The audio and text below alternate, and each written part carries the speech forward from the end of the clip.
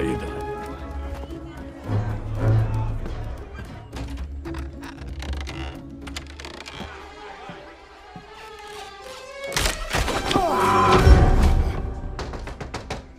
Nilo, hello? Frank owes money.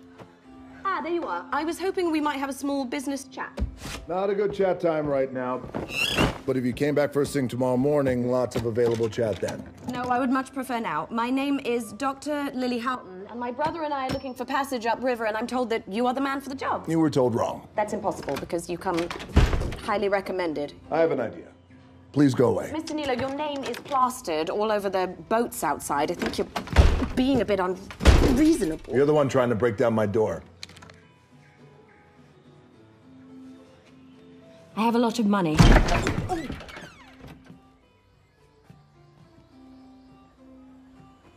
You're insistent? It's been said.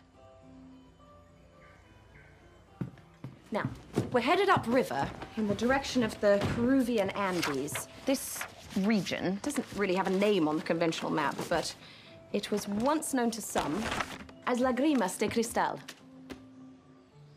You're wearing pants. Trousers, and yes, as are you. Do women in England do that now? But we're not in England last time I checked. Now, look, as shocking as the pants are, I'd really. Frank owes me money. Frank owes me money. Frank owes me money. Can I get you a drink? Who's Frank? I have no idea. I will have a little something. Spritzer, I assume. Well, I'll have whatever you're having. So, do you know the region, Mr. Nilo? Well, if it's in the Amazon River, I know it. And, lady, I could tell you of all the places in the world you can go. The last place you want to go is Lagrimas de Cristal. No, but I do. And I will. Oh, but you won't. Pants. You can't get there. Nobody can get there. And if they could, they wouldn't. It's not a fun vacation. Well, I'm not here for a vacation.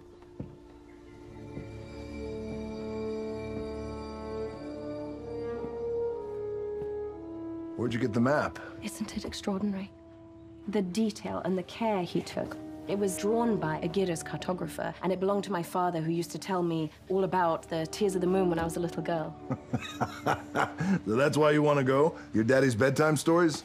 Look, can you get us there or not? This has just been a colossal waste of my time. I could get you there, but you have to consider the dengue fever, anaconda. Plus, look, lady, that's the home of the actual Pucamachuna.